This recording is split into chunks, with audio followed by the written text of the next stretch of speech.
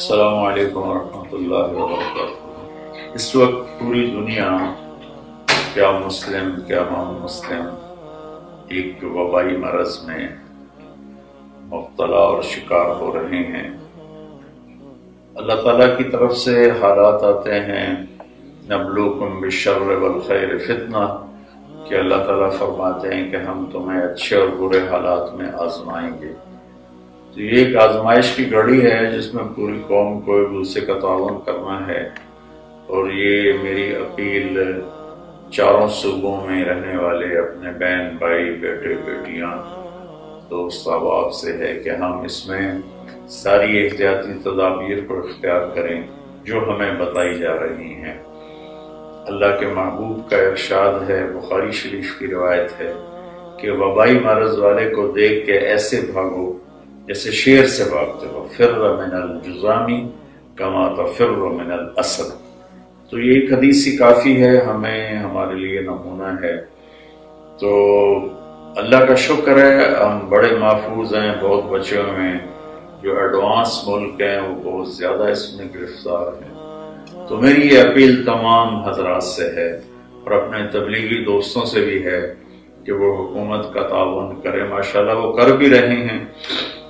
کچھ جماعتیں تھیں جو پہلے سے چل رہی تھیں، نکلی ہوئی تھیں، اور اس میں اکثر سیدھے سادے سادہ لوگ ہوتے ہیں۔ یہ ہمارا سرمایہ ہیں جو اپنی جان، مال کو داؤ پہ لگا کر اللہ کا پیغام پہنچاتے ہیں۔ اور چونکہ سب کے لیے ایک نئی چیز ہے، تو ان کے لیے بھی نئی ہے۔ تو اس لیے شاید وہ پورا اس کو سمجھ نہیں پائے، تو کچھ ان سے تھوڑی وائلنس ہوئی ہے۔ لیکن اس کا مطلب یہ نہیں ہے کہ وہ حکومت کے اس اعلان کے خلاف کر رہے ہیں۔ اس لیکن مجھے کچھ شکایات پہنچی ہیں۔ دو دن سے تو میں سر درد میں تھا، میں بات نہیں کر سکا کہ ان کو تنگ کیا جا رہا ہے۔ کہیں ہتھکڑیاں لگ رہی ہیں، کہیں ان کو دھمکایا جا رہا ہے، کہیں پٹائی بھی کی گئی ہے۔ تو یہ میرے خیال میں بہت زیادتی والی بات ہے۔ میں ابھی تھوڑی دیر پہلے چودھری پرویز علائی صاحب کا میں نے سنا وہ آڈیو۔ میں کو بہت زیادہ شکر گزار ہوں۔ وہ پہلے بھی مجھ سے بڑی محبت کرتے تھے اور وہ محبت آج بھی باقی ہے، اگرچہ ملاقات کم ہوتی ہے۔ انہوں نے بہت ہی خوبصورت بات کی ہے۔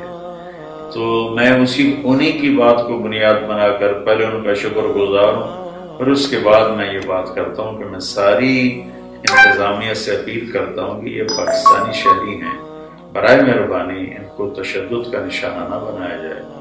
انہیں پیار محبت سے سمجھایا جائے، وہ انشاءاللہ دوسروں سے زیادہ تعاون کریں گے اور اس ساری وبا سے نکلنے کے لیے پوری قوم کو اجتماعی توبہ کی ضرورت ہے۔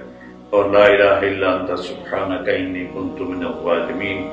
اس کا ورد بھی کیا جائے اور عملاً بھی کیا جائے کہ جتنے کبیرہ گناہ ہیں، ان سے ہم اپنے آپ کو بچائیں، توبہ کریں، خاص طور پر آپس کی لڑائیاں اور آپس کی نفرتیں اور فرقہ واریت اور یہ قتل و غارت اور چوری اور ڈاکے ان ساری چیزوں سے ہم توبہ کریں۔ اور سیاسی حضرات سے بھی عرض ہے کہ مل کر بیٹھیں، حکمران اور اپوزیشن مل کر مل کر بیٹھیں۔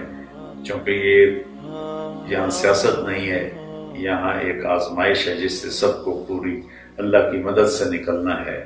اللہ مجھے آپ کو عمل کی توفیق بخشے۔ السلام علیکم۔